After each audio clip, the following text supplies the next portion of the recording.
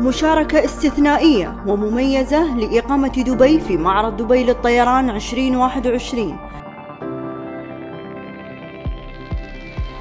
حيث تستعرض بمنصتها في مطار آل مكتوم بعض المشاريع المبتكرة تتصدرها مبادرة قراءة المستقبل التي تعمل على اتخاذ القرار بتحليل البيانات ورسم التصورات المستقبلية.